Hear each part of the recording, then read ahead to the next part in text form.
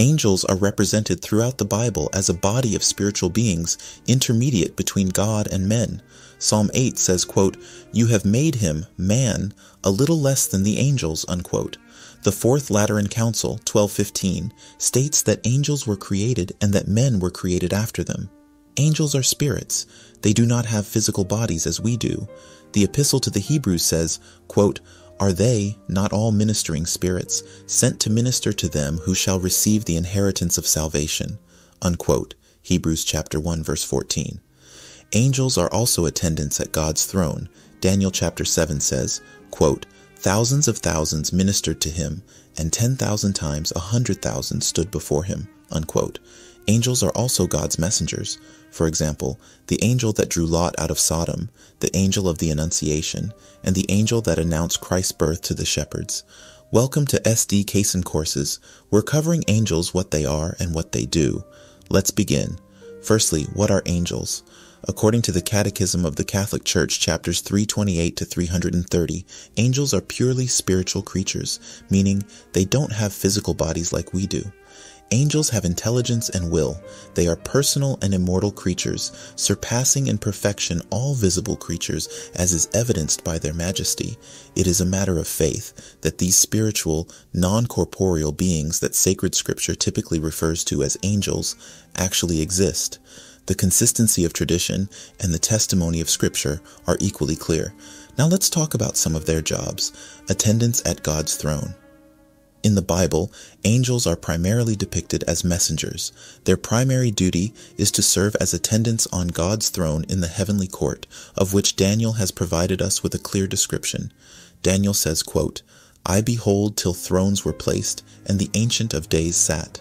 His garment was white as snow, and the hair of his head like clean wool, his throne like flames of fire, the wheels of it like a burning fire.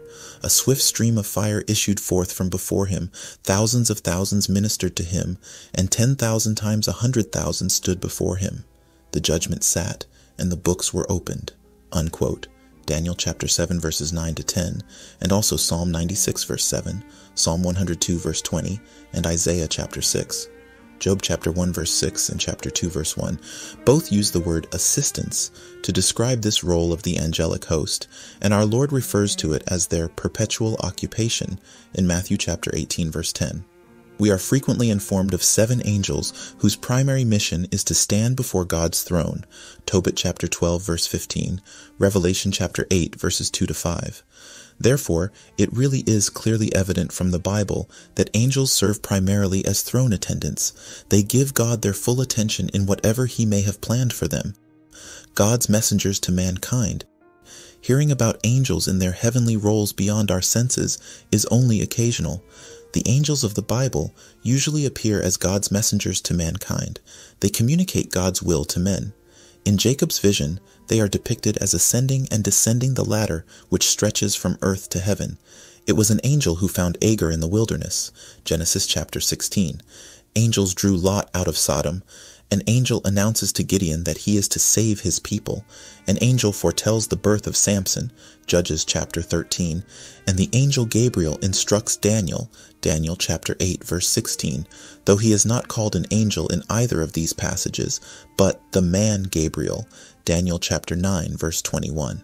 The same heavenly spirit announced the birth of St. John the Baptist and the incarnation of the Redeemer, while tradition ascribes to him both the message to the shepherds, Luke chapter 2 verse 9, and the most glorious mission of all, that of strengthening Jesus, the King of angels, in his agony in the garden, Luke chapter 22 verse 43.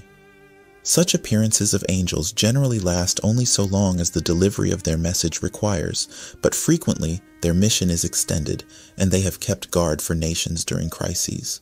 For example, during the Exodus, Exodus chapter 14 verse 19, and Baruch chapter 6 verse 6. Similarly, it is the common view of the church fathers that the prince of the kingdom of the Persians, Daniel chapter 10 verses 13 to 21, is the angel God assigned to spiritually care for that kingdom. Furthermore, Deuteronomy chapter 32 verse 8 states, When the Most High divided the nations, when he scattered the children of Adam, he established the bounds of the nations according to the number of the angels of God. Angels played a large part, not merely in Hebrew and Christian theology, but in the religious ideas of other nations as well. Personal guardians. Throughout the Bible, we find it repeatedly implied that each individual soul has its own guardian angel. Thus, Abraham, when sending his steward to seek a wife for Isaac, says, quote, He will send his angel before thee, unquote, Genesis chapter 24, verse 7. The words of the 90th Psalm, which the devil quoted to our Lord, Matthew chapter 4 verse 6, are well known, and Judith accounts for her heroic deed by saying, quote, As the Lord liveth, his angel hath been my keeper, unquote. Judith chapter 13 verse 20. These passages and many like them, though they will not of themselves demonstrate the doctrine, receive their complement in Jesus Christ's words, quote, See that you despise not one of these little ones. For I say to you that their angels in heaven always see the face of my Father who is in heaven. Unquote. Matthew chapter 18 verse 10. Indeed, the book of Tobias seems intended to teach this truth more than any other, and St. Jerome in his commentary on the above words of Jesus Christ says, quote, The dignity of a soul is so great that each has a guardian angel from its birth. Unquote. The general doctrine that the angels are our appointed guardians is considered a point of faith but that each individual member of the human race has his own individual guardian angel is not an article of faith. The view has, however, strong support from the doctors of the Church and shouldn't be simply dismissed. The Bible represents the angels not only as our guardians, but also as actually interceding for us. The angel Raphael, Tobit chapter 12 verse 12 says, quote, I offered thy prayer to the Lord, unquote. The Catholic faith teaching on angels is thus thoroughly scriptural. Perhaps the earliest explicit declaration of it is to be found in St. Ambrose's words, quote, We should pray to the angels who are given to us as guardians, unquote. As divine agents governing the world, the Fathers had a nearly unanimous belief that the angels carry out God's law in the physical world. The Semitic belief in genii and in spirits that cause good or evil is well known, and traces of it are to be found in the Bible. Thus, the pestilence that devastated Israel for David's sin in numbering the people is attributed to an angel whom David is said to have actually seen. 2 Samuel chapter 24 verses 15 to 17. Even the wind rustling in the treetops was regarded as angelic. 2 Samuel chapter 5 verses 23 to 24 and 1 Chronicles chapter 14 verses 14 and 15. This is more explicitly stated with regard to the pool of Probatica, John chapter 5, verses 1 to 4. In that passage, the disturbance of the water is said to be due to the periodic visits of an angel.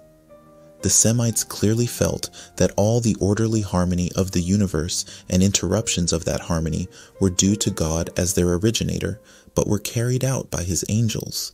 This view is strongly marked in the Book of Jubilees, where the heavenly host of good and evil angels is ever interfering in the material universe. And that was an overview of angels in a nutshell. They are spiritual beings that do not have physical bodies. They are attendants before God, messengers, guardians, and they govern the world. They do all these things at God's command and for His glory. We should ask angels for help and believe and find solace in the fact that they are constantly working with Christ for our salvation. This has been SD Cason Courses. Until next time, may God bless you forever.